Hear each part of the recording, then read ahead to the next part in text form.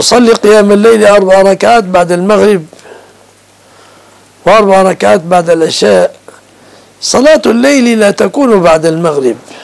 صلاة الليل تكون بعد العشاء.